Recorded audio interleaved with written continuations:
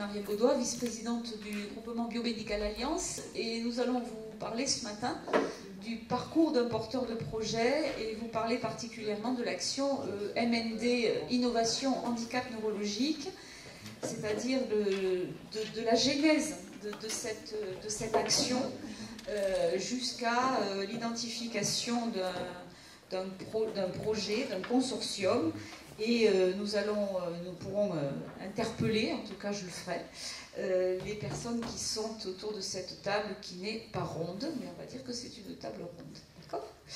Bien, donc Biomédical Alliance, pour, rappel, hein, c'est un, regroupement des, entreprises du secteur de la, santé qui s'inscrit autour de, trois missions principales, fédérer, soutenir et valoriser les TPE, PME et grands groupes, et dans cet ordre-là, bien sûr, animer la filière santé en région et représenter l'ensemble du secteur économique euh, biosanté. Euh, vous allez voir la, cartographie des, compétences qui sont représentées. Donc une variété de compétences justement, près de 80 adhérents aujourd'hui, une existence depuis 18 ans bientôt, mais sous ce nom-là depuis 3 ans, 4 euh, ans bientôt, un peu plus de 3 ans. Nous représentons 12 000 emplois sur la, région Midi-Pyrénées, donc euh, certains feront la comparaison avec le secteur aéronautique, tant pis, mais en tout cas nous avons un poids économique euh, important et en particulier un poids à l'international, puisque au global nos entreprises euh, sont à plus de 30% de leur chiffre d'affaires consacré à l'international et 26% du CA consacré à la RD, ce qui est un pourcentage le, plus fort de France. Quelques logos que vous reconnaîtrez euh, au passage, que je trouve plus parlant que de mettre une liste de, une liste de, liste de noms. Euh, hop, voilà, donc vous voyez qu'il y a euh, des entreprises aussi bien de la pharma classique que du dispositif médical, que des biotech, des biotechnologies au sens large, y compris des sociétés de services à l'industrie aux entreprises de la santé. On a arrêté de parler d'industrie de santé parce que nos, adhérents de, la, de, la, biotech en particulier, ce sont pas encore des industriels. Donc on parle des entreprises du secteur santé. Et un membre d'honneur qui est euh, Alain Coste et des partenariats avec Cancer Biosanté, ce qui explique qu'on est aussi là la corde au cou avec Cancer Biosanté. Donc Biomédical Alliance, par rapport à toutes ces enseignes que vous avez vues, c'est un continuum de compétences. Les biotech, je l'ai évoqué, vous avez là les différentes euh, déclinaisons des biotech qui sont, qui sont représentées. Nous avons la santé, euh, cœur de métier, donc avec des dispositifs médicaux, l'équipement médical et monitoring, ce qui explique aussi toute notre crédibilité par rapport à l'action qui a été menée. Les services, services aux entreprises de la santé sur les aspects réglementaires, logistiques, développement clinique, formation, etc. Et enfin, les technologies pures en termes, par exemple, d'orthopédie, capteurs et logiciels, imagerie, automatique et robotique. Donc les actions 2012, pour les, pour les rappeler, euh, des workshops sur des thèmes variés que vous avez là sous les yeux, donc, qui, ont été, euh, qui ont été mis en œuvre déjà ou qui sont en cours. Donc, je vous renverrai évidemment sur le, site de Biomédical Alliance pour euh, suivre notre, notre calendrier d'action. Et donc, de la différentes, différentes thématiques traitées et à venir en particulier euh, des préoccupations sur l'évolution de la législation européenne, le design industriel, les enjeux de la propriété intellectuelle, donc toutes ces thématiques transversales à nos, entreprises. Donc à l'international, très tourné vers l'international, nous avons, outre nos axes de travail et nos objectifs, on travaille beaucoup sur euh, l'innovation, l'international et la réglementation. Donc au niveau international, les journées pays Canada, euh, avec un déplacement, une mission qui devrait euh, avoir lieu à l'automne, une mission de prospection, et aussi des conférences qui vont avoir lieu avec certains représentants des, pays d'Europe que vous avez mentionnés ici et des conférences au niveau national euh, que nous avons faites en particulier lors des printemps de la production pharmaceutique à, Tours sur préserver les savoir-faire critiques, en particulier dans les entreprises de la santé. Quelques actions encore sur euh, bah, notre implication dans les, dans les, grands projets euh, régionaux. Nous avons co-animé avec la direction de l'innovation du CHU de Toulouse le lancement d'une plateforme d'évaluation clinique des dispositifs médicaux. Donc c'est quelque chose qui a été lancé, qui est maintenant en cours, que nous allons suivre avec un relais fort vers nos entreprises régionales. Et puis le soutien aux universitaires et grandes écoles pour venir parler de nos métiers, des métiers de nos entreprises de la santé. L'université d'été de la e-santé, donc nous y sommes, voilà. Biomédical Alliance est partenaire, même s'il a changé de nom en cours de route, depuis euh, l'édition 2006, le tout début, euh, le tout début de l'université euh, d'été de la, e-santé. C'est l'occasion pour, pour BMA de, faire des restitutions publiques d'un programme, en particulier ce programme que je vous citais dès le début, sur les maladies neurodégénératives et les handicaps neurologiques ce, programme a, démarré en, 2009, sachant que nous avions euh, confié à, à une étude, une étude qui s'est appelée Sentinov, sur euh, une étude d'état des lieux, hein, sur, euh, sur ces maladies, les maladies neurodégénératives, typiquement Parkinson, Alzheimer et sclérose en plaques. Ensuite, et on, on vous l'expliquera en détail, et David Atlan interviendra là-dessus, comment nous avons souhaité élargir la, thématique au handicap neurologique. Donc, euh, courant 2009, le démarrage d'une étude. Euh, automne 2010, la remise de cette étude. Et sous l'impulsion de, la directe, euh, nous avons lancé le club des innovations technologiques liées au handicap neurologique. Donc, historique et objectif de la mission, puisque c'est une mission qui a été extrêmement cadrée et extrêmement rythmée. Nos intervenants y reviendront aussi. Donc, euh, on porte une, action et le Club des innovations en partenariat, je l'ai déjà cité, avec la Directe Midi-Pyrénées, qui nous a, euh, qui nous a soutenus euh, financièrement aussi, bien entendu. donc ça, je vous laisse prendre connaissance de ce diaporama. De toute façon, on, vous le communiquera ou on le mettra à disposition sur le site. Hein. voilà. Donc euh, l'idée, c'était de permettre de valoriser, je l'ai un peu dit en, présentant nos entreprises, mais de valoriser les compétences des entreprises régionales euh, sur ces, thématiques-là et en réponse à ces thématiques-là. Donc une mission construite autour de trois grandes priorités, donc mobiliser, fédérer et impliquer les acteurs de MND Innovation, et on, va, on verra tout à l'heure comment on a identifié ces acteurs-là, amener les membres de MND Innovation à construire des projets collaboratifs, bien sûr se réunir, bien sûr réfléchir, bien sûr échanger de l'info, mais aussi les amener vers des projets collaboratifs. Et ensuite, une synthèse descriptive de deux avant-projets à l'origine pour fin 2011. Je dis à l'origine parce que notre calendrier prévisionnel s'inscrivait sur 12 mois, de décembre 2010 à décembre 2011. nous avons pris de l'accélération en cours de route et on n'est pas tombé du vélo. C'est à cause du Tour de France que je dis ça. C'est pas. Donc le fonctionnement, euh, porteur et financeur, donc porté par Biomédical Alliance, financé par la Directe Midi-Pyrénées et des fonds fédères gérés par, euh, par la préfecture de région. Un maître d'œuvre après consultation publique, euh, donc l'animation de ce club confié, donc ce, maître d'œuvre Mapping Consulting, dont le président est ici, il interviendra tout à l'heure. Un comité de, pilotage que nous avons souhaité constituer et qui était indispensable à tout projet, me direz-vous, mais aussi nous avons euh, souhaité le constituer avec beaucoup de pluridisciplinarité et beaucoup d'ouverture sur l'ensemble de la filière santé en Midi-Pyrénées. Donc vous voyez que, outre le porteur de projet et le financeur, nous avions des représentants du CHU, de l'agence régionale, du pôle de compétitivité, non seulement de santé, mais aussi euh, aéronautique, espace et système embarqué, puisque nous sommes au croisement de beaucoup de technos et les intervenants vous le diront tout à l'heure. Donc, à titre de, dommage, je dirais, parce qu'ils se sont mobilisés avec nous, voilà la liste des, personnes qui, faisaient partie du comité de pilotage. Donc 12 réunions de, ce comité de, pilotage, et pas sur 12 mois, mais finalement sur 9 mois. Donc ça donne une indication de la motivation. La redéfinition du champ d'investigation des maladies dégénératives au handicap neurologique, je n'étends pas là-dessus, je l'ai dit, euh, David Atlan y reviendra.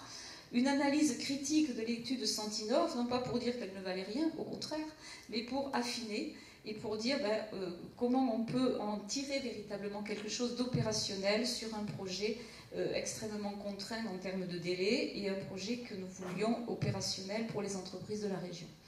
Donc un, benchmark régional et national effectué par, euh, par mapping, et là aussi je ne m'étends pas, David y reviendra sur la méthode.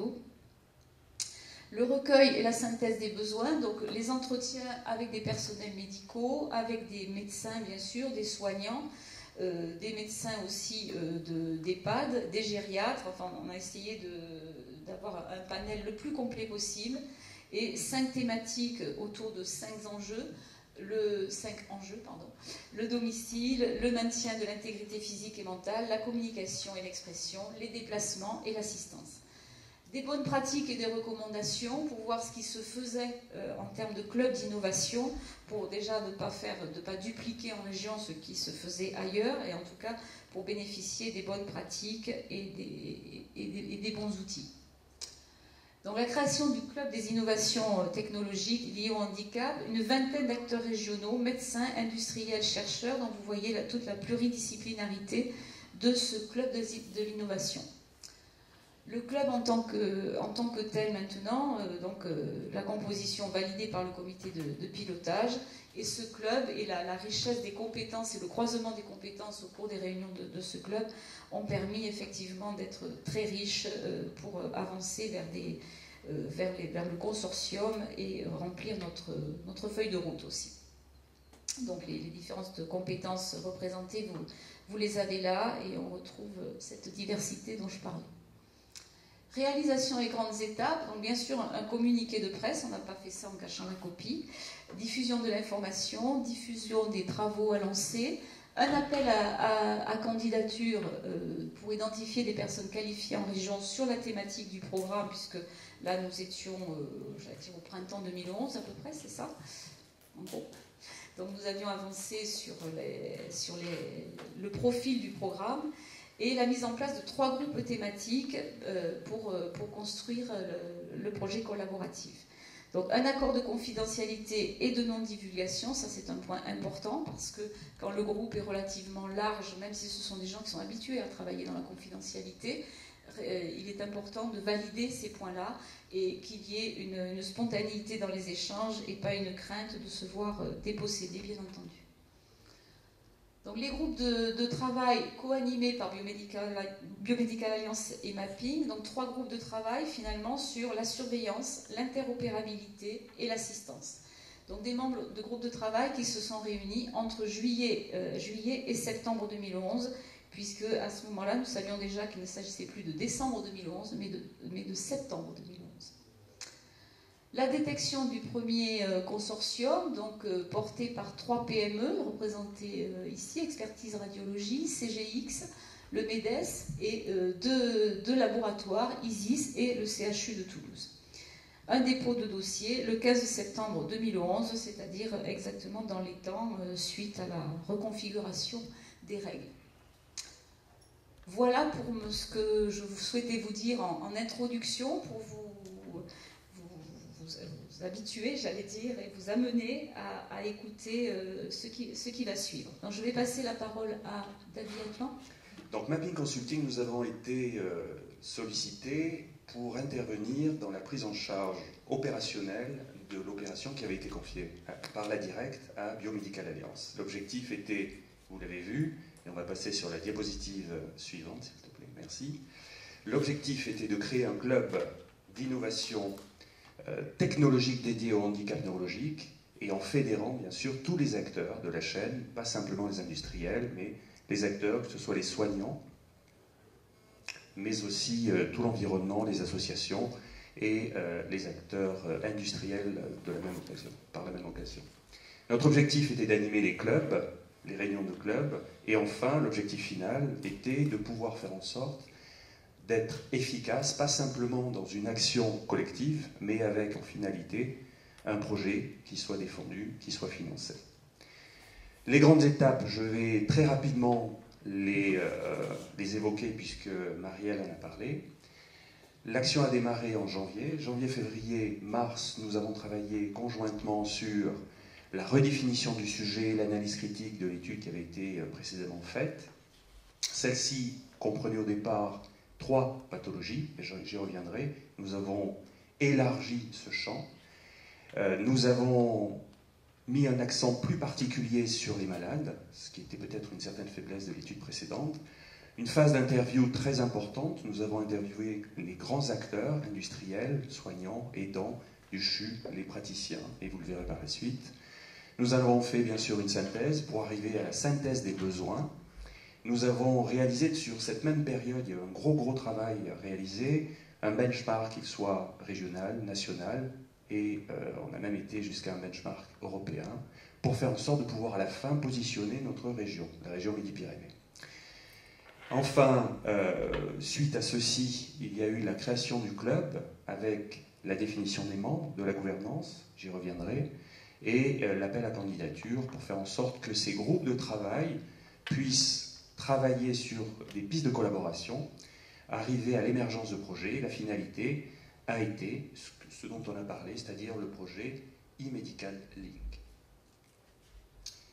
Si nous reprenons le périmètre de l'action, je vous ai dit tout à l'heure que nous étions partis de trois pathologies qui étaient la sclérose en plaques, Alzheimer, Parkinson. Nous l'avons élargi à tout ce qui était post-traumatique et post-AVC. Par là même, après un long travail, puisque nous nous, sommes fait conseiller par euh, des neurologues notamment, nous sommes montés jusqu'au handicap neurologique, qu'il soit cognitif, moteur ou sensoriel. Nous avons défini les besoins, pas simplement les besoins des patients, mais aussi de l'entourage, des aidants, qu'ils soient familiaux ou hospitaliers ou d'établissements particuliers. La création du club de l'innovation sur les handicaps neurologiques a été créée pour faire en sorte que le projet que l'on devait financer soit avant tout un projet qui réponde par des solutions pratiques aux besoins identifiés précédemment. Donc, les maladies neurologiques, ce que nous avons fait, nous sommes passés au handicap neurologique. Là maintenant, c'est tout simplement la création, euh, avec le copie, la création et euh, la gouvernance, tous les jours que nous avons, euh, nous avons eus. Je vais passer très rapidement puisque Marielle en a parlé. Vous le voyez, Copil, Biomédical Alliance, l'ARS, la Direct, le CHU, l'EPOL bien sûr. L'objectif, le rôle du COPIL, c'est un pouvoir de décision, pas consultatif de décision. Création du club qui, lui, par contre, a un véritable pouvoir de réflexion et doit faire remonter des propositions au COPIL. Ça existe partout, on n'a rien inventé, on l'a simplement structuré. Les thématiques ont été définies, et on y reviendra, et elles sont remontées au COPIL. Ensuite, le COPIL a fait en sorte de générer un appel à candidature pour faire en sorte de fournir la matière humaine pour euh, les groupes de travail. Ces groupes de travail devaient faire en sorte de faire remonter des projets. Et enfin, la dernière euh, étape a été l'appel à projet avec un projet financé. Alors je me permets d'insister parce qu'au départ, la mission devait courir sur 12 mois.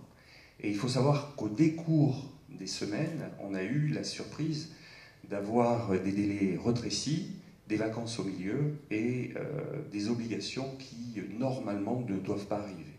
Alors j'attire votre attention là-dessus parce que quand on va voir demain des potentialités de répondre quand on est chef d'entreprise ou porteur de projet à des appels, il faut savoir que des fois ben, les appels sont dans l'urgence.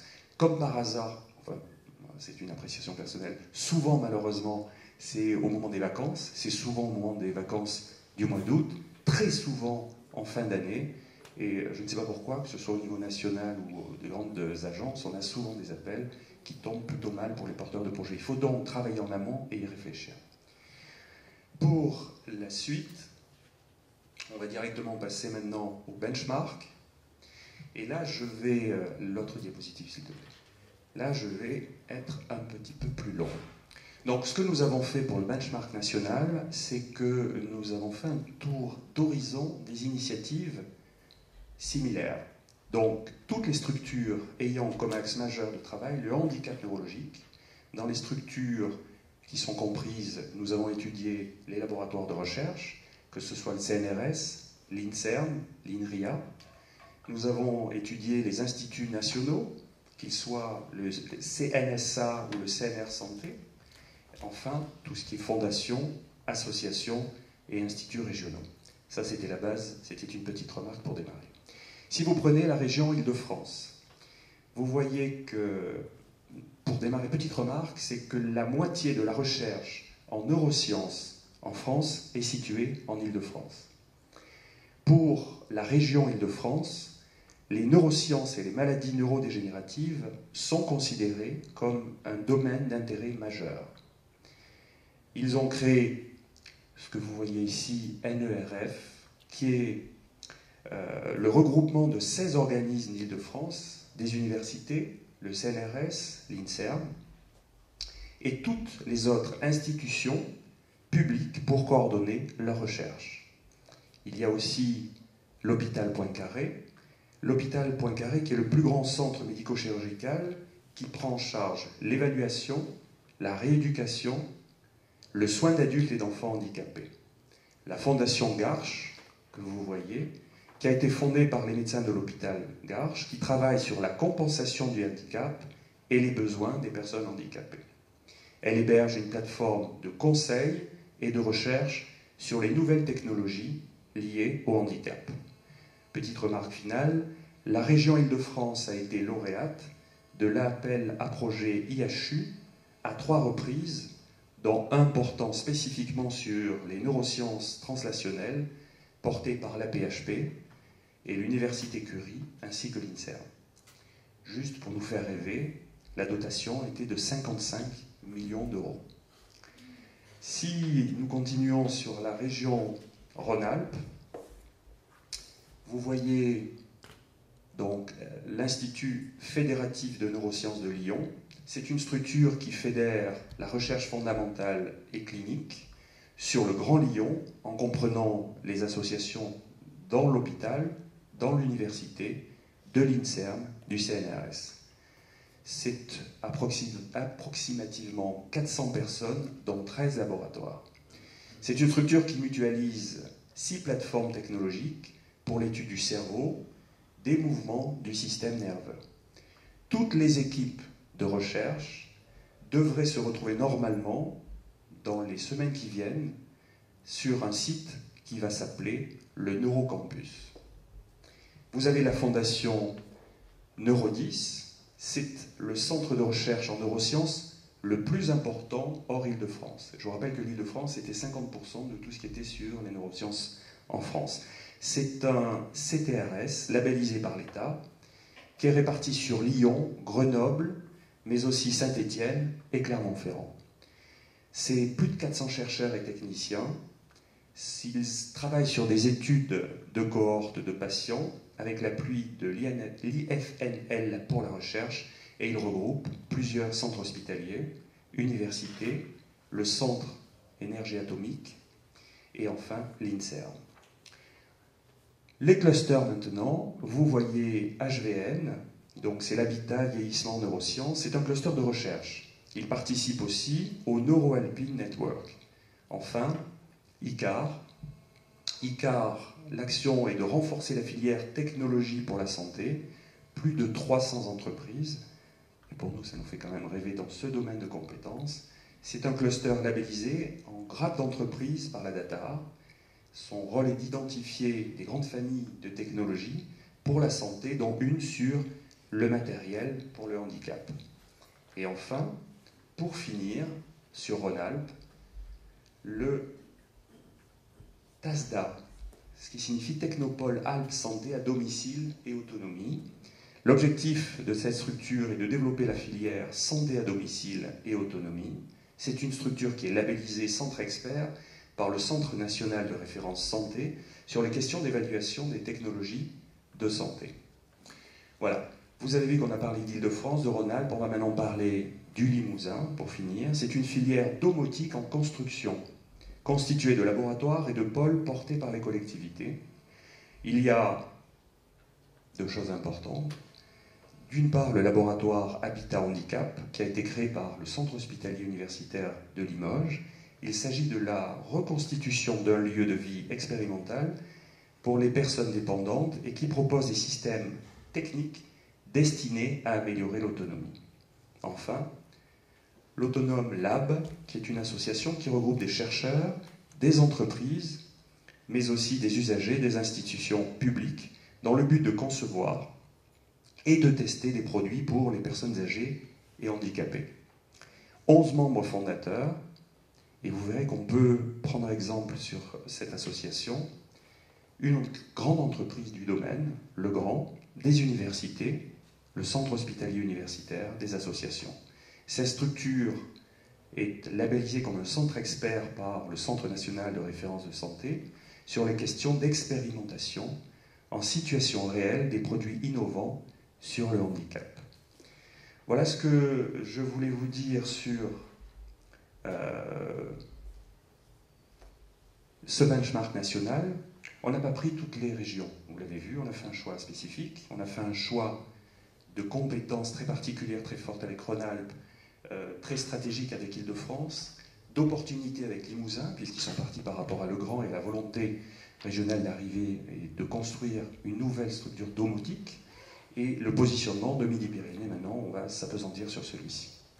Merci Marie. Ce que nous avons fait, c'est d'abord un benchmark des acteurs locaux ayant des liens avec la thématique du handicap neurologique. Ce qui veut dire qu'il y a bien sûr d'autres acteurs qui sont dans d'autres domaines. C'est un choix délibéré s'ils n'y sont pas. Pour démarrer, le centre hospitalier de Toulouse avec le Gérontopole. Le Gérontopole a été créé en 2007. Il est dirigé par le professeur Vélas, Bruno Vélas, et il accueille chaque année 30 000 patients. C'est une action de recherche autour de la prévention du vieillissement pathologique, notamment Alzheimer, Parkinson, et la mise en place d'études cliniques sur de grandes cohortes. Vous avez aussi le centre Alzheimer, qui est un hôpital de jour et une unité de soins aigus pour les patients déments, avec une action particulière de dépistage. Vous avez le centre de réadaptation neurologique, CRN, en Ariège, qui est un centre spécialisé en réadaptation neurologique. Il faut savoir que les autres centres sont souvent polyvalents, et celui-ci a été ouvert en 2008. Si vous regardez maintenant dans le, carré recherche, vous voyez l'IRIT et vous voyez le LAS. Donc l'IRIT, c'est euh, l'Institut de recherche d'informatique de Toulouse, le LAS, le laboratoire d'analyse et d'architecture des systèmes CNRS. Et si nous apesantissons, merci, un petit peu plus sur euh, l'Institut fédératif de recherche 96, c'est l'Institut des sciences du cerveau. Il est dirigé par le professeur Chollet, qui regroupe des équipes du Centre hospitalier universitaire de Toulouse, de l'INSERM, du CNRS, de l'Université Paul Sabatier. Et il faut prendre en compte plus particulièrement trois équipes. L'unité imagerie cérébrale et handicap neurologique, le centre de recherche cerveau et cognition, et enfin la division octogone, recherche sur les sciences du langage, notamment sur la cognition. Et vous avez euh, une autre structure, la Maison intelligente de Blagnac, qui est un véritable démonstrateur à taille réelle et qui dépend de l'IUT de Toulouse. Au niveau des institutionnels, Marielle a parlé tout à l'heure du pôle cancer biosanté, on va parler du centre e-santé et des différents acteurs. Donc le centre e-santé, vous le connaissez tous sur Toulouse, il a en plus été euh, particulièrement mis à l'honneur avec euh, la plateforme Platine. Vous avez le pôle centre, pardon, le pôle cancer biosanté euh, dont le président est Pierre Montoriol. Je vais attirer votre attention sur deux DAS, deux domaines d'activité stratégique, le 3 et le 4. Le 3, innovation technologique. Le 4, maintien à domicile. Donc, l'objectif est de labelliser plusieurs projets portant sur l'autonomie et le maintien à domicile. Enfin, la MDPH 31, ainsi que les autres MDPH du département. Donc, vous avez aussi la Technopole Castres-Mazamet qui a comme axe fort la e-santé, qui soutient et accompagne des projets en lien avec le maintien à domicile. Au niveau des entreprises, plusieurs secteurs sont présents en région et ont des compétences pour intervenir sur les problèmes des handicaps neurologiques. Ils viennent en apporteurs de solutions. Vous avez les TIC avec Digital Place et la TIC Valley. Vous en avez d'autres. Vous avez les technospatiales avec des caractéristiques de géolocalisation. La robotique avec l'association Siropo. Et la domotique est un secteur pour l'instant qui est peu représenté dans notre région. Voilà, une fois qu'on a fait vous avez vu que c'était dense, donc euh, j'ai préféré être précis. Et euh, les informations que vous avez, vous pourrez les retrouver euh, et on pourra faire en sorte de vous les faire passer. Sur la diapositive qui suit, nous avons analysé pour Midi-Pyrénées les forces, les faiblesses, les menaces et les opportunités. Alors par rapport à ça, je vais démarrer sur les faiblesses. Nous nous sommes rendus compte qu'il y avait un véritable manque réel de lien entre la recherche, l'ingénierie et les secteurs de la santé. Ce sont deux mondes qui, pour l'instant, sauf cas exceptionnel, ne se croisent pas. En faiblesse, nous nous sommes aussi rendus compte que le secteur de la santé faisait rarement partie de l'activité des entreprises ciblées. Les deux sont liés. Je vais traiter aussi maintenant des menaces. Nous sommes rendus compte que le nombre d'initiatives récentes sur l'autonomie pouvait être un frein. Trop de structures qui pouvaient se surajouter, trop d'initiatives, peut-être sans concertation. L'objectif de ce travail n'était pas demain de dire comment il fallait faire, mais simplement ça nous a permis de faire un constat et de voir que pour certaines, entre l'idée que l'on avait de sa propre structure et la réalité des actions, on pouvait trouver un ajustement avec les autres associations, les autres structures. Dans les menaces, la dispersion des structures et des actions, c'est ce que je viens maintenant de vous évoquer, mais c'est très criant. Et on se rend compte des fois que plusieurs associations génèrent le même type d'activité pour le même type de cible et avec malheureusement une déperdition d'efficacité qui était préjudiciable. Enfin, là on va parler plus des entreprises, nous nous sommes rendus compte que les entreprises étaient craintives. Elles sont craintives d'aller dans ce domaine de compétences qui est quand même, rappelons-nous, la santé c'est assez contraignant, il y a des règles à respecter, et euh, ils ont souvent peur parce qu'ils n'arrivent pas à le maîtriser aussi facilement que leur secteur d'activité traditionnel. Alors comme j'aime bien qu'on reste sur le côté positif en fin de parcours, sur les opportunités, on se rend compte que le positionnement d'un club comme celui qui a été créé sur les handicaps neurologiques, d'abord c'est unique en France, et on s'est rendu compte au décours de la vie de ce club qu'il y avait de réelles attentes, et pas simplement financières, de réelles attentes de propositions, de création, d'échanges, ce dont on parlait tout à l'heure, avec une diversification des entreprises ciblées. Nous sommes une région très forte dans certains domaines, avec de très belles technologies, et il pouvait y avoir des transferts de technologies que l'on pouvait identifier en amont et qui pouvaient aller vers celui de la santé. Le contexte était favorable aux initiatives en faveur de l'autonomie. Ce sont des chiffres nationaux. Les régions Midi-Pyrénées a les mêmes contraintes de vieillissement de la population et de prise en charge de certaines pathologies, comme les handicaps neurologiques, qui ne sont pas une pathologie, des pathologies initiées, suivies, euh, arrivant malheureusement des handicaps neurologiques. Enfin, pour finir, les points positifs, les forces, c'est qu'il y a en Midi-Pyrénées une très grande, une très belle recherche en ingénierie. Cette recherche, qu'elle soit en ingénierie ou en recherche médicale, est d'un niveau excellent, mais excellent à quel niveau? Au niveau français ou au niveau international? Au niveau international, en Midi-Pyrénées, nos laboratoires sont des laboratoires reconnus de grandes compétences. Je rajouterai aussi autre chose, c'est que nos chercheurs en Midi-Pyrénées sont des gens ouverts sont pas des gens qui restent dans leur laboratoire. La région Midi-Pyrénées a été une des premières régions à mettre en place des partenariats publics-privés. Donc il est important aussi que l'on puisse avoir ceci en mémoire. Les laboratoires sont ouverts, quels qu'ils soient. Et enfin, pour finir, que nous avons en Midi-Pyrénées un véritable vivier d'entreprises que l'on pourrait positionner sur des technologies applicables au handicap. Soit des transferts de technologies, soit la création de valeur par rapport à des entreprises qui pourraient être positives sur ce domaine de compétences. Voilà ce que je voulais vous dire sur le positionnement de Midi-Pyrénées et nous allons maintenant passer au recueil des besoins. Sur la diapositive suivante, vous voyez la démarche qui a été la nôtre. Nous sommes partis du patient. C'était réellement une, rupture par rapport à l'étude antérieure. Nous sommes allés directement sur les patients, non pas sur les entreprises. On s'est dit que pour faire un bon produit, il fallait d'abord savoir quels étaient les besoins, les usages d'abord, les besoins, et c'est ce que nous avons fait. Donc en étudiant, en écoutant les patients, en écoutant l'entourage du patient, nous avons interrogé des associations, des médecins de ville, des acteurs médico-sociaux et bien sûr des praticiens hospitaliers. Nous avons défini, après les usages, les besoins. Les besoins, vous le voyez, tout ceci euh, sortait des interviews et nous avons pu faire preuve de propositions sur des thématiques prioritaires pour le club. sur donc, des technologies pour l'autonomie. Et sur la diapositive suivante, euh, vous voyez le panel des personnes interrogées, significatif. Dans les associations, nous avons considéré que c'était les premières à rencontrer les handicaps neurologiques, les porteurs de handicaps neurologiques, qui voient beaucoup de problèmes directement, et ils sont à même de pouvoir cumuler les problèmes et de donner les ordres de priorité.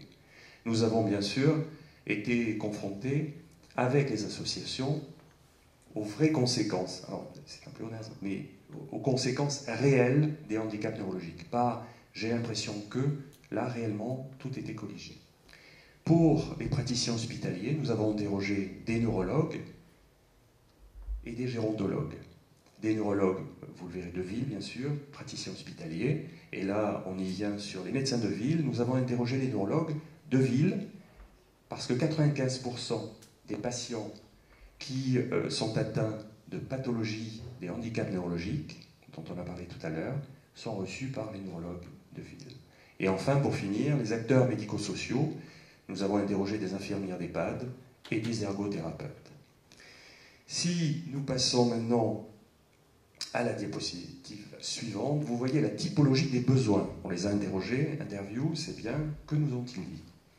Vous voyez qu'il y a, d'une part, des différences entraînées par le handicap. Tout n'est absolument pas comparable. Le deuxième point, c'est que les besoins relatifs à la prévention du handicap nous ont appris certaines choses, notamment la prise en compte en amont de la fragilité, chose que l'on ne prenait peut-être pas assez en compte. Enfin, le maintien des activités physiques et intellectuelles était un point fort souligné par l'ensemble des gens que nous avons interrogés. Les besoins relatifs à la réduction du handicap, ce que les gens nous ont demandé, ce que les gens, euh, quand je dis les gens, c'est l'intégralité du public rencontré, ça a été une véritable amélioration des déplacements, des moyens de communication et de la sécurisation.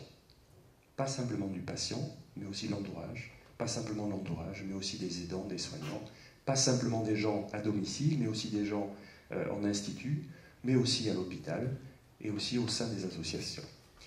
Un seul constat, généraliste, mais qui veut bien dire ce que les gens attendent, c'est important de retenir ceci, ils n'attendent pas une révolution. Bien sûr, si on leur procure demain une révolution, ils l'apprécieront. Mais ce qu'ils attendent, c'est une amélioration au quotidien par des petites touches qui vont faire en sorte que globalement, les gens, la qualité de vie de ces personnes en sera améliorée. Pour les malades, pour les familles, pour les soignants. Sur la diapositive suivante, nous avons mis un, focus, une focale sur les cinq thèmes dont parlait tout à l'heure Marielle. Cinq thèmes ont été définis en fonction des interviews que nous avions réalisées. Je vais rapidement vous les énoncer. Thématique numéro un, c'était le domicile avec comme enjeu la personne handicapée qui doit pouvoir continuer à vivre à son domicile avec le maximum d'autonomie et de confort qu'une personne non handicapée. Ça entraîne aussi d'autres notions. On parlait de maison intelligente tout à l'heure. C'est le fait qu'on ait des domiciles évolutifs, qu'ils puissent accompagner le, pardon, le patient, mais aussi sa famille. Les moyens, bah, c'est repenser la façon de construire le bâti en prenant en compte bien en amont les questions de perte d'autonomie. Il faut anticiper. Certains pays sont très forts par rapport à ça, les pays nordiques, nous sommes un petit peu en retard. Le domicile est un champ d'application sur lequel la France a réellement du retard, je me répète. Euh, dans ce domaine-là, une innovation de rupture peut donner du souffle à ce secteur. Alors je, vais faire juste une petite aparté. Il y a quelques jours était inauguré à Toulouse le bâtiment A Dream de, du LAS, si vous avez eu la chance d'y aller ou si euh, vous avez cette possibilité, n'hésitez pas. On se rend compte que l'on voit ce qui peut être demain, ce que l'on espère demain avoir à notre domicile ou dans notre euh, espace de vie. Je crois qu'on doit aller dans, cette, euh, dans cet objectif d'anticipation. On est en très bonne santé, on doit penser à ce qui se passera demain pour nous, pour nos parents bien sûr, et pour ceux qui nous succèdent. La thématique numéro 2, maintien de l'intégrité physique et mentale, donc c'est de retarder l'entrée en institution spécialisée, c'est conserver l'usage de son corps et de son esprit le plus longtemps possible. Qui n'a pas envie de ça? Le monde. On n'attend pas d'être malade par rapport à ça. Et les moyens que l'on pourrait avoir sont des dispositifs d'entraînement avec des logiciels d'exercice intellectuel à finalité thérapeutiques et des appareils de stimulation. Donc les innovations possibles pourraient être dans l'assise des fauteuils roulants. Ça a été souvent évoqué, c'est très particulier le fauteuil roulant. Dans les robots coach, donc des robots entraîneurs, qui sont des robots qui vont vous permettre, ou tout autre dispositif, qui vont permettre aux gens de s'entraîner et de ne pas se laisser aller euh, parce qu'on sait qu'on ne se relève pas. Enfin, il nous en reste encore trois. La thématique numéro 3 qui est euh, la communication et l'expression. Donc la communication, nous le savons tous, est nécessaire à toute vie sociale, encore plus quand les patients sont en désespérance par rapport à une pathologie, et ça contribue bien sûr à la conservation de la dignité patients. Il faut donc essayer d'atténuer les difficultés d'élocution, d'écriture et de compréhension. Étendre les dispositifs existants aux difficultés de compréhension. Ce qui a été proposé sont des pictogrammes de nouvelle génération, des nouvelles méthodes d'utilisation des dispositifs existants. Donc en bilan, vous le voyez, un thème sur lequel, dans ce qui existe, on se rend compte qu'il n'y a pas grand-chose de réellement nouveau, ce sont des petites améliorations, et on attend réellement ce qu'attendent les personnes interrogées. C'est une véritable rupture avec des avancées majeures. La thématique numéro 5, les déplacements. oui, la 4, pardon. La thématique numéro 4, les déplacements, c'est de pouvoir réaliser seul ces déplacements. Alors que ce soit, bien sûr, euh, enfin je vais y aller après, mais en toute sécurité, c'est vraiment la preuve d'autonomie et c'est un soulagement psychologique pour les aidants pour les patients d'une part et pour les aidants ensuite. Les déplacements sont volontaires, c'est pour faire en sorte de pouvoir avoir des gens qui soient protégés, éviter les errances, pouvoir faire en sorte que le déplacement se fasse à l'intérieur du domicile ou à l'extérieur, qu'il se fasse à pied, en fauteuil roulant ou en voiture. Les moyens sont des systèmes de guidage et de repérage, systèmes prévenant les chutes, l'amélioration des possibilités des fauteuils roulants. Voilà ce qu'on a, ce a vraiment vu de manière prioritaire dans, les besoins euh, et dans ce qu'attendent les personnes interrogées. Les besoins sont des besoins typiques, mais pour lesquels les solutions les plus efficaces sont encore à imaginer. Enfin, pour finir, et je, je conclurai sur les, quatre, sur les cinq thèmes après, le thème numéro 5, c'est l'assistance. Donc, c'est de diminuer la vulnérabilité, l'angoisse des patients et de leurs proches au niveau de l'assistance. C'est un thème qui est valable pour les patients tant à domicile qu'en institution. Au niveau des moyens, il nous faut donc avoir des nouveaux dispositifs dits intelligents. Et c'est euh, dits intelligents d'alerte qui soient susceptibles de ne pas nous déranger pour rien, mais de nous interroger à bon escient. C'est très sécurisant pour tout le monde et ça nous permet d'agir très vite. Il ne reste par rapport à ça euh, qu'à voir la marge de progression dans ce secteur, c'est immense, mais on a tout ce qu'il faut en région Midi-Pyrénées pour pouvoir travailler sur ces cinq thématiques. Et vous voyez que ça viendrait en complément des développements actuels qui sont faits en télésanté et en télésurveillance. Voilà sur euh, les cinq thématiques. Nous allons maintenant regarder le club de l'innovation et on va directement passer à voilà, cette diapositive. Euh, je vais aller assez vite, Marielle en a parlé. Le club, notre objectif était de faire un club qui ne soit pas une armée mexicaine, pas trop de membres, et des gens motivés avec euh, des, euh, des, origines qui soient positives pour être performants au niveau du club. 22 membres, 14 entreprises, 5 laboratoires, 3 acteurs de santé. Nous avons organisé deux réunions en avril qui nous ont permis de pouvoir définir le thème que l'on allait garder. Ce qui était important, c'est que euh, on a présenté à l'intégralité des membres de ce club l'intégralité des travaux qui avaient été réalisés, que ce soit le benchmark, les recueils, les besoins bien sûr et les thématiques relevées. À la fin, le club a décidé de retenir une thématique, ce qui nous laisse de la marge pour, pour la suite par rapport aux autres thématiques. Ce sont des systèmes et services d'accompagnement pour le maintien volontaire à domicile des personnes atteintes de handicap neurologique. Voilà ce qui a été fait. Sur la diapositive suivante, nous avons donc accompagné l'appel à candidature. Cet appel à candidature avait des objectifs, bien sûr, c'est que les gens qui devaient faire partie euh, de ces groupes pouvaient avoir un véritable intérêt pour cette thématique, une expérience dans le domaine, et comme on avait, Marielle vous l'a rappelé, un délai très court. Il fallait des gens qui soient motivés. Alors motivés bien sûr pour réussir, mais motivés pour donner du temps. Or, ça c'est aussi une chose importante dans le montage des projets, c'est de pouvoir appréhender toujours, pas simplement les moyens financiers, mais appréhender la capacité d'un individu, d'une entreprise, d'un laboratoire à donner de son temps, de sa motivation. Les résultats de l'appel à candidature, nous avons reçu 27 dossiers provenant d'entreprises, d'acteurs de santé, de laboratoires de recherche et de particuliers. 19 candidats ont été retenus pour faire partie des groupes de travail et les groupes de travail ont été mis en place au début du mois de juillet. Donc on a appris à ce moment-là, euh, quelques semaines juste avant, je crois que c'est mi-juin, que euh, les euh, quelques mois que l'on avait, les 4-5 mois, seraient réduisaient à 3 mois, et qu'au 15 septembre, il fallait faire en sorte qu'il y ait au plus tard un projet qui émergeait. Les groupes de travail, et on arrive pratiquement à la fin, l'objectif des groupes de travail, c'était de faire émerger un à deux projets collaboratifs dans un temps très court et sur une thématique précise, celle que nous avons définie. Les méthodes, répartition des acteurs en trois groupes, surveillance, interopérabilité et assistance. Nous avons fait en sorte, et ça c'est quelque chose de très particulier parce que nous avons, nous, la chance à Mapping, d'avoir des liens forts avec euh, le domaine médical et nous avons eu euh, l'opportunité de faire introduire l'intégralité des réunions par un médecin qui est le docteur Mekies, neurologue à Toulouse et qui est président de l'association des neurologues français. Il nous a donc fait un topo, il nous a expliqué d'une part les pathologies, mais surtout l'environnement des patients. Il a parlé des pathologies, il a parlé des handicaps, des patients, et il a fait en sorte de pouvoir répondre à toutes les questions potentielles de gens qui n'étaient pas du domaine.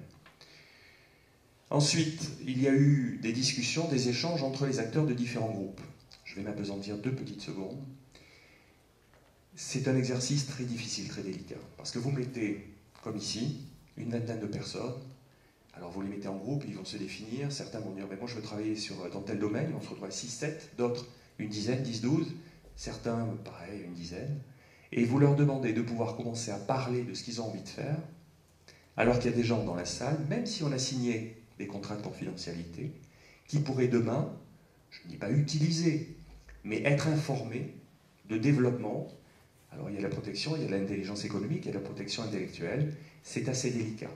Malgré ceci, et avec le temps très court qui était malheureusement des contraintes, il y a eu des réunions de lancement le 4 juillet, des réunions de travail pour chacun des groupes en juillet et en septembre, ça en a fait 6, et à la fin, merci Marielle, il y a eu euh, le consortium formé au sein des groupes de travail reprenant expertise radiologique, porteur du projet, CGX System, ISIS, l'école ISIS, l'école d'ingénieurs de Castres, qui nous reçoit, le MEDES, donc euh, médecine spatiale, des praticiens et le projet CI Medical Link. C'est un projet qui a été financé par la Directe à hauteur de 150 000 euros. Et c'est surtout ce qui était important, c'est qu'il y a des suivis qu'il y a un suivi, mais au départ, ce que nous avons exigé, Marielle a été euh, très positive par rapport à ça, et elle a demandé à ce que ce ne soit pas simplement un coup d'épée dans l'eau, c'est-à-dire pas un projet et on s'arrête, mais ce club a comme volonté de pouvoir continuer par des actions similaires, régulières. Le deuxième projet a été porté par la Directe en 2012. Voilà ce que je voulais vous dire. Je vous remercie de votre attention et euh, je redonne la parole à Marielle. Cette société, donc, euh, expertise radiologie, travaille dans les quatre, enfin dans les cinq axes, je dirais, de la télémédecine, puisque nous faisons donc de la télémédecine, c'est-à-dire des médecins qui sont en contact avec des médecins pour de la téléexpertise, deuxième opinion, faire du télédiagnostic, téléremplacement, astreinte. Deuxième activité de la société, puisqu'on fait de la télémédecine. La télémédecine, pour une simple définition, ce n'est que la convergence des techniques d'information et de la communication avec le milieu scientifique et médical. La deuxième activité, pour en revenir, c'est la téléassistance. Téléassistance, c'est une activité qui permet à un médecin et à un paramédical d'exécuter ou de faire exécuter un acte médical à distance, parce que les paramètres vitaux peuvent être engagés ou autres. Troisième activité de la société, c'est de mettre en, en, correspondance des médecins, un médecin et un patient. Et on appelle ça la téléconsultation. Et donc nous avons travaillé, nous avons mis en place des systèmes de téléconsultation qui permettent aujourd'hui, je dirais, de, s'éviter d'un présentiel et donc à distance traiter ou suivre un patient.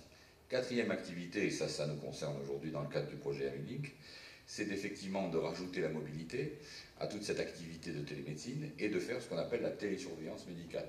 Alors bien évidemment, à l'intérieur de notre comité scientifique, il y a, il y a une grosse partie de, je dirais, il y a une empreinte neuro-radiologique et voire neurologique, puisque euh, la plupart euh, de nos acteurs à l'intérieur travaillent sur la sclérose en plaques, travaillent sur les techniques de télé-AVC, donc accident vasculaire cérébral, travaillent sur d'autres, je dirais, euh, maladies de la démence, et nous avons d'autres projets dans lesquels on est en train d'essayer de suivre des, des, des patients qui, effectivement, ont un certain nombre d'handicaps ou de séquelles suite à des maladies de la démence, et notamment, beaucoup en connaissent, je dirais la première, c'est Alzheimer.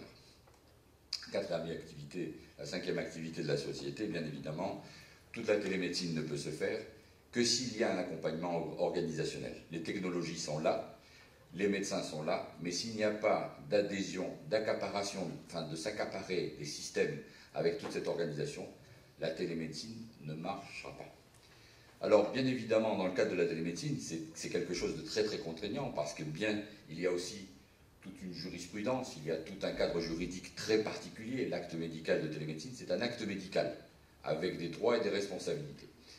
Cela veut dire qu'il faut interopérabilité, il faut de la sécurisation, il faut de l'identification, il faut de l'authentification, et donc bien sûr toute une hyperconnectivité qui va se jouer avec tous les acteurs du milieu médical.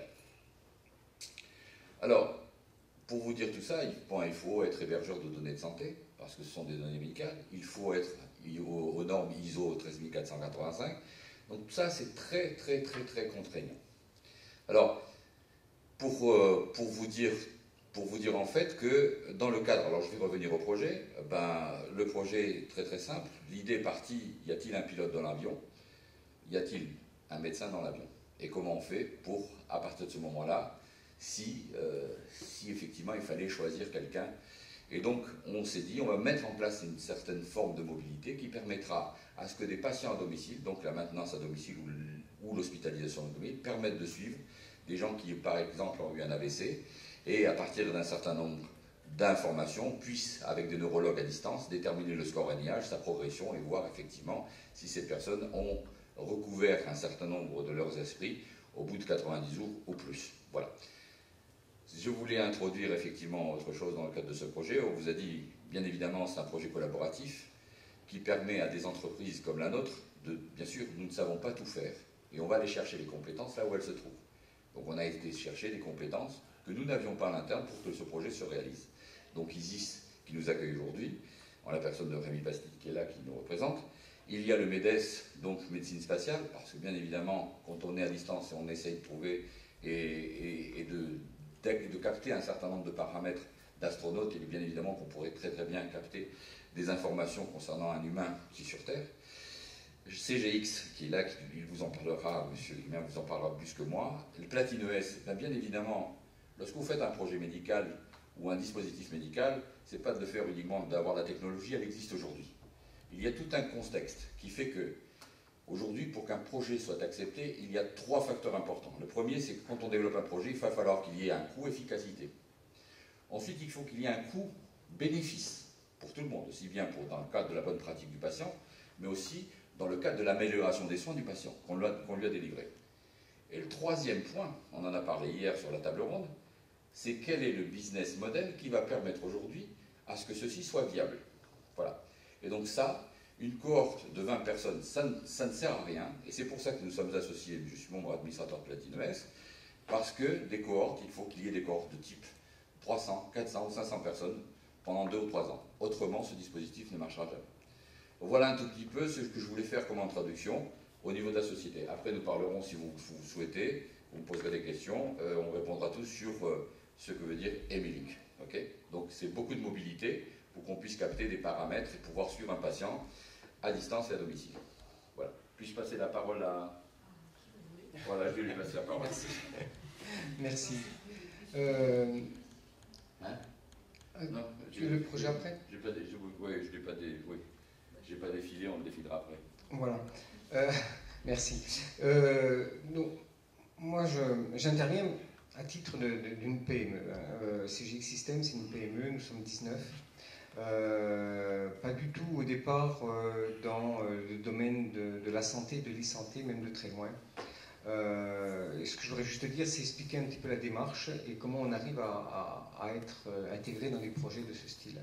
ce qu'il faut savoir, c'est en effet une PME du style de CGX ne pourrait pas être présente dans ces projets sans, sans de, sans de l'aide, sans de l'assistante et sans un, tissu euh, local euh, important. Donc le tissu local, évidemment, c'est euh, surtout l'ISIS, hein, c'est notre support depuis de, longues années qui nous permet de, de, participer à ces projets.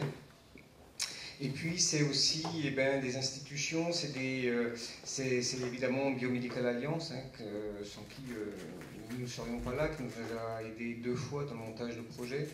Euh, autrement, nous, ne serions pas présents. Pourquoi? Parce que euh, ce que disait David en effet tout à l'heure, c'est euh, la peur d'une PME d'entrer dans le domaine de la santé, de l'e-santé en particulier. Et j'en veux pour preuve le, peu de, pour pas dire le manque total d'entreprises du style de CGX, c'est une petite PME présente dans, dans, cet atelier, ce que je regrette parce que ce que j'aurais voulu faire, c'est vraiment un témoignage à ce niveau-là.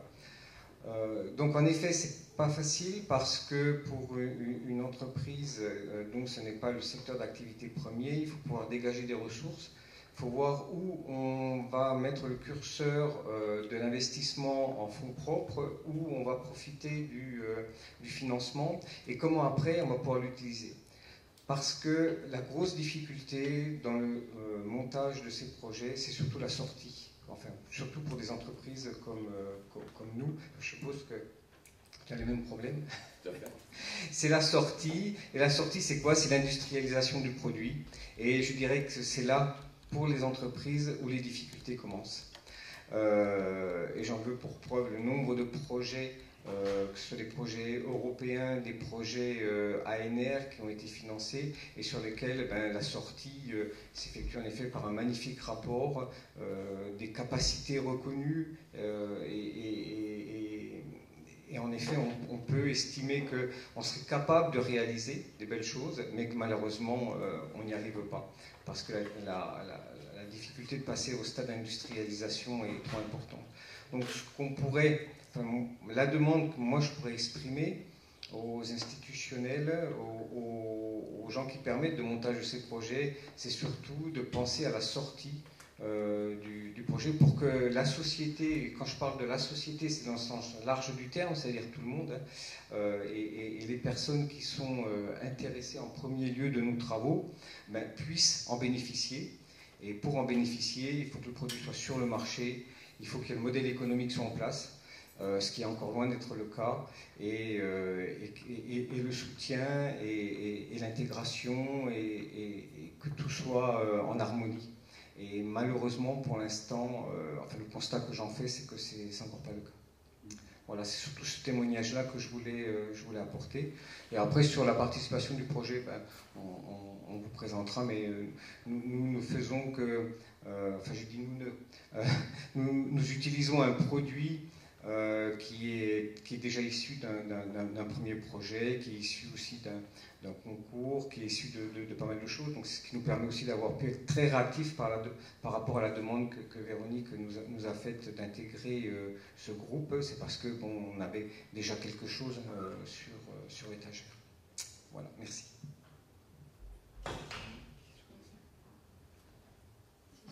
Deux mots à dire par rapport au montage de ce projet qui a dû, qui a dû être fait quand même de façon assez rapide dans une période de, vacances en plus, donc euh, avec des personnes assez un peu euh, censées être pas disponibles en tout cas, qui l'ont finalement été grâce aussi au soutien euh, notamment de Alpine, Atlan pour ce qui est du, de la participation rapide et très dynamique du CHU de Toulouse qui aujourd'hui nous, suit encore et est très intéressé puisqu'ils ont doublé quand même le nombre de patients dans leur cohorte de façon volontaire.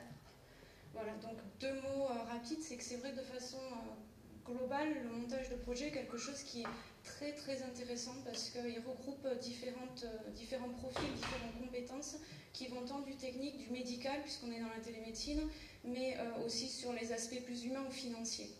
Donc c'est très varié, intéressant, même passionnant. Malheureusement, c'est fastidieux pour une entreprise, c'est long et ça a un coût. dans le cadre des groupes innovation, ce qui était très intéressant, c'est que les, trois parties qui sont les, les, plus complexes en montage de projet étaient fortement soutenues. Euh, déjà la première qui est celle d'études et d'analyse, qui dans le cadre des projets de télémédecine doit porter d'une part sur la partie du besoin, ce besoin qui doit être proche du terrain, très concret, euh, des équipes médicales, mais même du patient, de la connaissance du parcours de soins, euh, doit être mis en relation aussi par rapport à la veille technologique et scientifique, c'est-à-dire quelles sont les hypothèses actuelles, mais aussi quels sont les concepts envisageables ou même les solutions existantes. Donc euh, c'est un peu euh, ces différents points de vue qui permettent euh, l'émergence d'un projet, qui vont permettre de l'enrichir. Maintenant, arriver à prendre du temps pour aller de l'avant, rencontrer les équipes médicales, les patients, pour faire remonter ce besoin, mais aussi prendre le temps de, faire des recherches dans la veille scientifique et technique, du coup, c'est quelque chose qui nous a été apporté puisqu'il y avait une étude qui nous était présentée et aussi la possibilité de nous mettre en relation directement donc avec des personnes qui étaient déjà motivées pour participer. Alors c'est vrai qu'il y a la problématique donc dans le deuxième point de recherche de partenariat avec la question de la confidentialité. Il y avait effectivement un accord de confidentialité qui avait été demandé à chacun. Euh, et c'est vrai que présenter, discuter ouvertement devant un ensemble de personnes des différentes idées qu'on peut avoir, ça reste quelque chose qui est vraiment pas simple à faire parce qu'il y a toujours cette crainte de se dire euh, oui, on a envie de travailler avec l'autre, mais est-ce que l'autre a cette même volonté? Voilà, puisqu'il y a des contraintes euh, économiques derrière pour l'entreprise et qui stratégiques de développement. Donc euh, c'était un peu à cheval, mais en même temps j'ai envie de dire que dans tous les cas, euh, comme Robert l'a très bien expliqué tout à l'heure, quand on monte un projet, on n'a pas toutes les compétences en interne et on va rechercher à travailler avec euh, des laboratoires, d'autres entreprises ou forcément des, des, médecins et des acteurs médicaux. Et de ce fait, on est obligé de faire des multi-présentations, avec des termes bien sûr bien choisis, mais on est obligé à un moment donné de s'ouvrir et de discuter de ces projets. Donc la contrainte de, confidentialité existait, mais était quand même amoindrée dans ces groupes et a facilité même les démarches déjà de, de pré-discussion directement de propriété intellectuelle avant même de parler de confidentialité. Donc c'était, euh, la démarche a été beaucoup plus rapide. Et enfin, la partie euh, communication, rédaction du projet, qui souvent pour les, porteurs et les partenaires du projet, quand ils, ont ciblé un appel d'offres, donc ils vont le préparer pour y répondre correctement. Euh, ce qui se passe, c'est qu'ils sont dans le projet. Donc en gros, on, rédige et on présente le projet euh, de façon à le présenter tel qu'on le conçoit, et souvent on oublie de, présenter des détails puisqu'ils sont pour nous une évidence alors que la présentation du projet doit être, doit être, vraiment tournée en fonction de l'appel à projet. C'est-à-dire qu'un très bon projet qui correspond à tous les critères d'évaluation d'un appel d'offres ne pourra pas être retenu tout simplement parce que sa rédaction a été mal présentée. Donc c'est vrai que euh, là on a bénéficié, et c'est une action qui est simple mais qui est très efficace et, qui optimise le processus, d'avoir un, un relecteur tiers qui n'est pas impliqué du tout dans le projet, mais qui lui va connaître exactement quelles sont les attentes des futurs évaluateurs de l'appel à projet ce qui permet au projet d'être présenté de façon euh, euh, correcte et de, pouvoir, de pouvoir venir séduire le financeur par rapport à des vrais arguments qui existent déjà dans le projet. Voilà, donc c'était juste un petit mot que je voulais dire par rapport à cette action. Je vais laisser la parole peut-être à, à Rémi pour présenter. Merci. Donc euh, moi je, représente en fait les, acteurs académiques universitaires dans le cadre de, de montage de projet. Alors faut euh, conscient de quelque chose, c'est que la recherche, en gros, euh, française, elle est financée, on se la finance uniquement, pratiquement, par l'intermédiaire de, projets. Les financements institutionnels qu'on reçoit euh, de la part du ministère sont assez limités. dire, dans un laboratoire comme l'IRIT, hein, ça paye les murs, quoi, on va dire. Hein. Pour un, pour un, chercheur, on doit toucher à peu près 500 euros par an par chercheur, ce qu'on appelle les points chercheurs, donc on va pas bien loin avec ça. Euh, et ça veut dire donc que ben, si on veut développer de la recherche, on doit euh, concourir à des appels à projets euh, collaboratifs. et donc pour nous, quand on concourt à ce genre de projet, il faut qu'on puisse mettre en avant finalement des verrous scientifiques. Donc on est des chercheurs, on peut montrer que dans un projet particulier, il y a un verrou scientifique sur lequel on peut nous contribuer utilement en tant que chercheurs Et la manière pour nous de valoriser ce genre de projet, ben, c'est des publications scientifiques. Paradigme publish or perish. Hein. donc on doit publier, montrer à nos tutelles qu'on est capable de publier dans des conférences internationales, dans des journaux, etc. Ce qui va nous permettre après de concourir vers d'autres appels à projets et donc de faire continuer la, pompe. Donc, grosso modo, quand on participe à un appel à projet, il faut qu'on s'assure qu'on va pouvoir publier euh, là-dedans. Et pour nous, la, force de travail euh, principale, ce sont les, doctorants. Donc, euh, un ordre d'idée, le salaire d'un doctorant sur trois ans, ça, revient à peu près à 100 000 euros. il faut trouver ensuite tout l'environnement scientifique, le financement de l'environnement scientifique qui lui, permet de, fonctionner. Euh, donc euh, nous, en tant qu'académiques, on, participe à, des appels à projets qui sont assez divers. Il y a diverses sources de financement. Il y a des appels qui sont plus orientés justement vers, euh, on va dire, la production scientifique. Alors en particulier ceux qui viennent de, l'ANR, de l'Agence nationale de la recherche. par exemple, ici à ISIS, on est coordonnateur d'un projet financé par l'ANR. Chaque année, il y a un programme, alors il y, a il y a un grand nombre de programmes scientifiques hein, financés par l'ANR, mais il y a un programme qui nous intéresse particulièrement qui s'appelle Texan, Technologie pour la santé.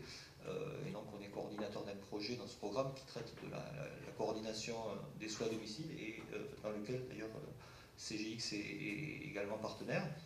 Donc ça c'est des appels qui ont une coloration plus académique et donc qui en général sont portés par des, par des universitaires. On participe également à des, à des, projets qui sont de nature plus industrielle, qui ont un financement plus l'industrie, en particulier par exemple les appels qu'on appelle euh, les, projets qu'on appelle FUI, Fonds unique interministériel, voilà, et qui sont les, appels qui sont gérés par les, pôles de compétitivité, et là qui euh, d'habitude sont euh, pilotés par un industriel. Là, de ces appels FUI, c'est de montrer qu'il va y avoir une création de valeur, une création d'emploi, etc. voilà, donc comment nous on participe à ce, à ce genre de projet-là, puis on s'oriente aussi vers des projets plus, plus européens en fait. il y a également des, projets plus ambitieux qui nécessitent de monter des consortiums entre académiques et industriels dans plusieurs pays européens. Donc il y a des, financements euh, portés par l'Europe, par exemple, euh, ce qu'on appelle les, framework programmes, les programmes cadres, où euh, il y a un appel aussi qui est intéressant pour nous qui s'appelle Ambient Assisted Living, qui traite de toutes les technologies d'assistance au domicile, donc qui sont des, des projets intéressants. Voilà, donc c'est notre mode de, participation principale. Alors, euh, Monsieur Atlan euh, faisait figurer dans sa, matrice euh, force, faiblesse, opportunité, menace. Une, faiblesse, c'était le manque de, coordination et de communication entre l'ingénierie, comment vous l'avez fonctionné, entre l'ingénierie, la recherche et le domaine de la santé. Il y avait le monde de la recherche d'ingénierie. Voilà, voilà, donc je pense que s'il y a un lieu où on peut espérer justement euh, surmonter cette, euh, cette faiblesse, c'est bien ici, hein, en fait, dans cette école d'ingénieur, puisque euh, en tant qu'école d'ingénieur, on, est une espèce de hub finalement entre les, industriels avec qui on travaille de manière très étroite par l'intermédiaire des stages, des projets, etc., avec les acteurs de la santé, bien entendu, et puis également avec le, milieu universitaire. Donc on essaye d'agir vraiment pour essayer de, faire communiquer ces, trois différents domaines. Et puis, euh, on s'oriente aussi vers d'autres formes de, participation autres que, purement recherche et académique à, ce genre de projet, notamment par l'intermédiaire de choses qu'on est en train de, développer au sein de l'école, euh, en particulier ce qu'on appelle la junior entreprise. Donc, c'est une création qui, qui vient d'être faite cette année. Une junior entreprise, c'est quelque chose qui fonctionne au sein d'une école d'ingénieurs, comme une entreprise autonome, mais qui, dans l'encadrement euh, scientifique et, et, pédagogique en fait, de équipe. Donc on vient de créer une junior entreprise ici à ISIS, et euh, ça peut être une, autre forme de participation pour nous, plus euh, sur un aspect pédagogique à ce genre de projet-là, puisque sur un projet comme, euh, comme celui qu'on vous présente ici, alors l'intérêt d'une junior entreprise, en fait, c'est d'initier les élèves ingénieurs pendant leur cursus de formation au fonctionnement réel d'une entreprise, par exemple l'établissement du budget, la, facturation, le suivi des, euh, des, livrables, etc. Donc de les mettre directement dans un, dans un mode de fonctionnement, on va dire, euh, euh, industriel. Et sur un projet comme ça, il y a un certain nombre de tâches qui ne sont pas du tout des tâches, on va dire, de recherche, mais qui peuvent très bien être confiés à une junior entreprise. Alors par exemple, l'installation, le déploiement des, logiciels ou des matériels au domicile des personnes, la formation, le support technique, etc. Voilà, donc une forme de participation qu'on est en train de développer à ce genre de projet-là et qui peut être tout à fait, comment dire, intéressante à, valoriser euh, d'un côté gagnant-gagnant entre le, projet lui-même et puis la formation de, nos ingénieurs. Euh, et puis euh, un dernier point aussi que je veux mentionner, y a quelque chose qu'on est en train de développer au sein de, cette école, peut-être on aura l'occasion de vous montrer l'an prochain, à la prochaine édition de, l'université d'été, c'est quelque chose qu'on appelle le Connected Lab, donc c'est ce qu'on appelle un laboratoire d'utilisabilité euh, dédié au secteur de, euh, de la e-santé. Concrètement, ça veut dire que le fond de ce bâtiment ici, euh, dans le fond de ce bâtiment, on va recréer le cabinet d'un médecin, une officine de pharmacie, la chambre d'un patient à domicile, la chambre d'un patient à l'hôpital. Et l'idée, c'est d'être capable de démontrer dans un environnement qui reproduit un environnement conforme à la réalité, justement l'interopérabilité des différents euh, logiciels et dispositifs médicaux qu'on peut trouver dans tout cet écosystème, si vous voulez, de la, santé à domicile. Donc c'est quelque chose qu'on va valoriser dans, le cadre de nos projets de recherche, dans le cadre de la formation et aussi, on l'espère, dans le cadre des, coopérations avec des, industriels. On pourrait peut-être donner la parole à la, salle. Est-ce que vous avez des questions euh, l'un ou l'autre de nos, de nos intervenants? Est-ce que quelqu'un? Oui? Ah, C'est bien, le fil est assez long jusque-là. Je reviens un instant sur euh, l'accord de, de confidentialité. Comment vous procédez concrètement?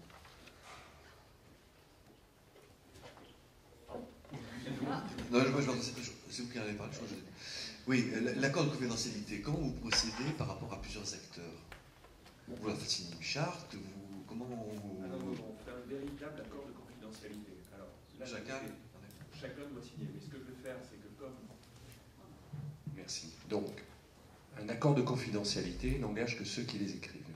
Ça, par définition, il faut le savoir. Vous avez des gens qui vont faire écrire, signer un accord de confidentialité et n'absolument pas le respecter. Ils ne vont pas le respecter, ça c'est très clair. Donc ce que nous essayons toujours de faire, parce qu'il faut que vous imaginiez que dans les entreprises, il y avait de très grandes entreprises de grands groupes, il y avait Actia notamment, euh, qui est un grand groupe qui a l'habitude de signer des accords de confidentialité, et il y a des petites entreprises. Donc quand on a au sein d'entreprises des services juridiques, et que ça doit remonter au service juridique, passer au niveau de la direction pour redescendre, c'est assez problématique. Il faut donc trouver le, le point commun, le déterminant commun. C'est ce que nous avons réalisé. C'est faire en sorte que tout ce qui était dit au sein de ces groupes de travaux tout ce qui pouvait en découler soit considéré comme euh, une information sortant des groupes. Et c'est très particulier parce que pour certains, l'accord de confidentialité, ils peuvent toujours nous dire demain, euh, oui, mais ça, l'idée, je l'avais déjà précédemment. Donc, on signe un accord, on définit les thèmes sur lesquels on va, et tout ce qui est euh, dévoilé est écrit et, et co-signé après. D'accord? Et dans les accords de confidentialité, vous en avez qui sont très contraignants, sur la protection, sur la durée, sur l'étendue, et vous en avez d'autres qui font en sorte de protéger au moins dans le lancement du projet. Et une fois que le projet est lancé, de toute façon, de facto, il est protégé. OK?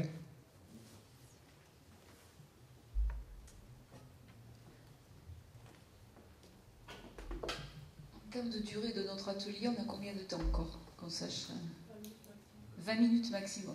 Bon, Est-ce qu'il y a des questions encore sur le montage de l'opération Monsieur Beribos. En fait, il faudrait qu'on parle du projet parce qu'on est plus là pour ça. Voilà, donc on va vous repasser la parole, c'est ça, vous revendiquez ça. de toute façon, j'avais une question aussi pour vous, à savoir que depuis euh, septembre 2011, depuis la, période où vous avez euh, perçu, enfin, en tout cas, la directe vous a attribué ces, 150 000 euros. Euh, qu'est-ce qui s'est passé que, Comment le projet a, évolué Où en est-il aujourd'hui? Qui veut répondre? Donc, qu'est-ce que le projet, finalement hein?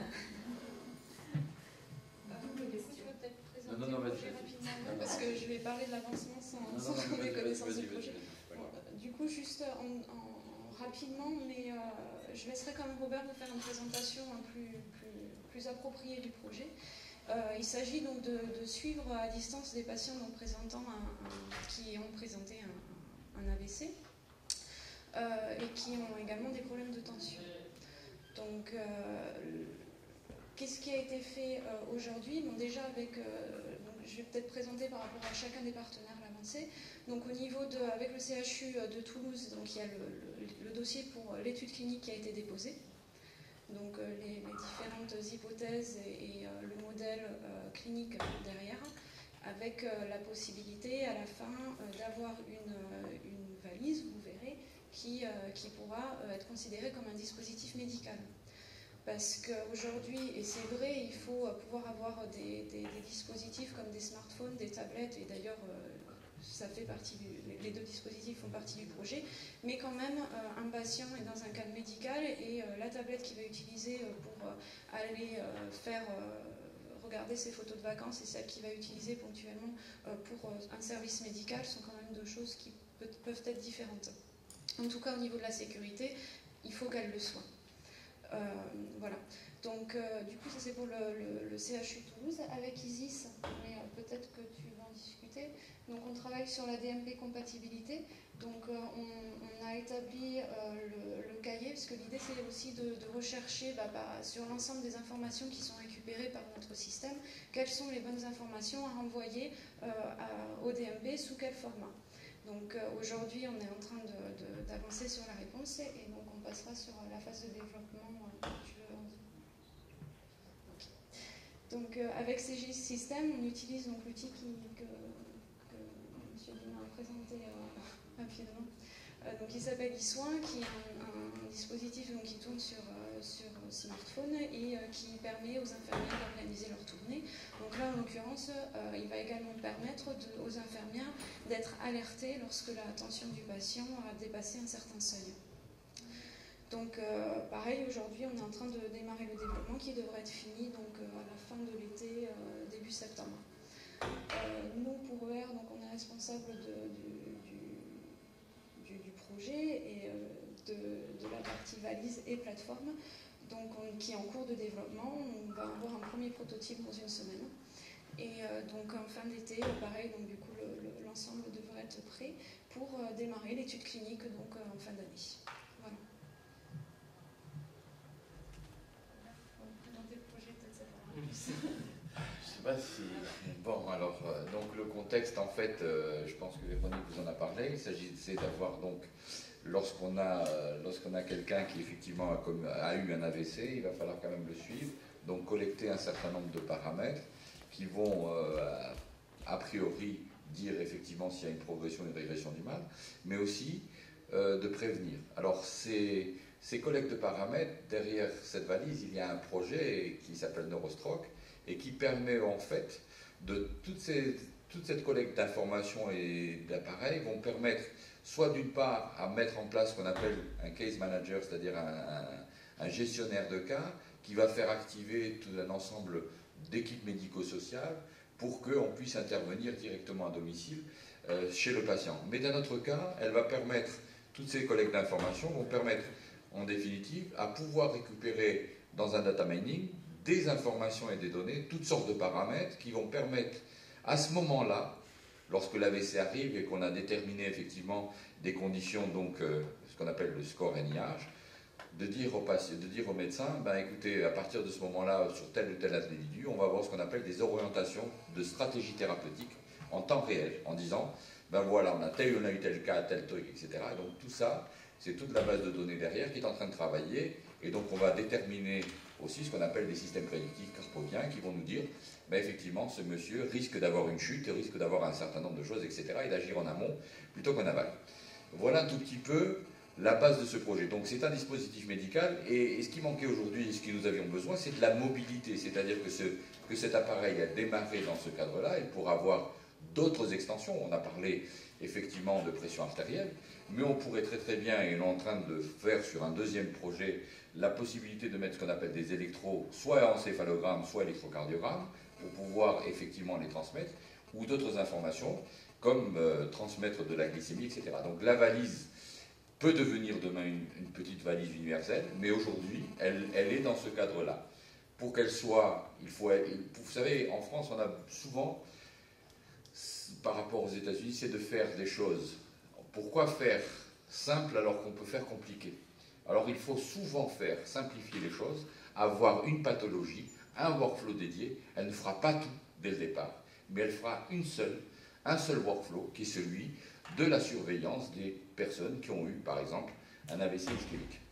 Voilà. En tout cas, dans le cadre, voilà comment on passe le projet. Le projet, donc, euh, c'est la solution. Le caractère innovant, il y en a quelques-uns. Il y a peut-être une ou deux ruptures technologiques, mais on y viendra après. Voilà, c'est d'une simplicité, mais ça peut effectivement s'intégrer dans un dispositif médical qui va aider soit les unités neurovasculaires, qui va certainement aider les infirmières, les patients, etc. Donc tout ce monde interconnecté va permettre à un moment donné de prendre une décision pour l'amélioration de la délivrance des soins vis-à-vis du patient, mais aussi pour le confort du médecin ou de l'infirmière. J'ai fini. Je ne voulais pas vous embêter plus. Embêtant du tout. Est-ce que sur les cinq minutes qui nous restent, vous voulez euh, poser des questions sur le montage de l'opération, sur les partenariats Non vous avez tout compris, que c'était très clair. J'espère en tout cas qu'on vous a montré l'exemplarité et la multidisciplinarité du, projet. Oui Juste une question par rapport à Véronique, elle puisse nous dire quelles ont été les difficultés qu'elle a rencontrées concrètement, au-delà des choses du temps, du timing, mais les difficultés en tant que Il n'y en avait pas, le groupe était très bien organisé.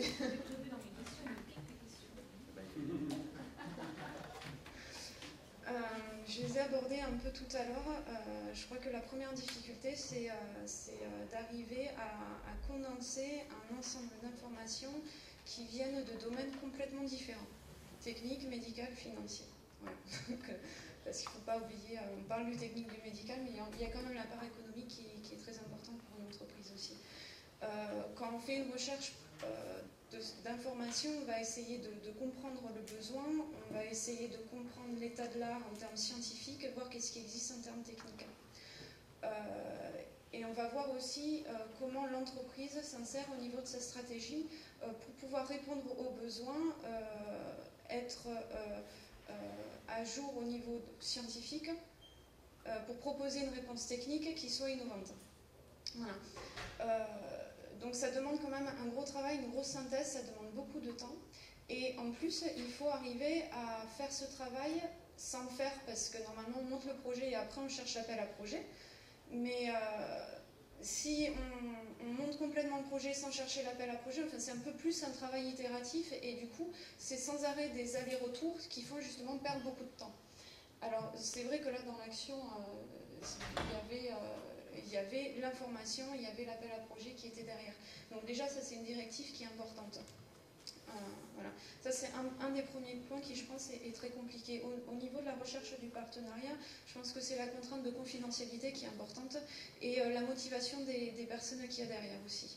Il euh, faut faire un benchmark de toutes les différentes personnes qui, sont susceptibles de pouvoir répondre correctement donc, à la compétence qui est recherchée mais malgré ça, ce n'est pas suffisant. Il faut aussi aller chercher un peu l'historique des partenariats que les personnes ils ont eu avant, un peu comme on recherche un, profil, une candidature euh, d'embauche dans une entreprise. Parce que la personne, elle peut avoir de l'extérieur quelque chose qui correspond parfaitement, mais dans ses historiques de collaboration, c'est peut-être pas forcément ce qu'on va rechercher. Pas qu'elle soit négative, mais pas nous ce qu'on va rechercher dans notre méthode de travail. Donc il y a cet aspect-là aussi qui, qui, est à prendre en compte. Euh, quand on a été dans le cadre du groupe, directement, on savait euh, comment les personnes travaillaient et qu'est-ce qu'elles recherchaient. Voilà. Et euh, il y a un autre point aussi sur lequel j'ai déjà insisté, je vais le faire moins, mais c'est la possibilité de, pouvoir séduire le bon financeur. donc il y a des financements privés qu'on peut aller rechercher.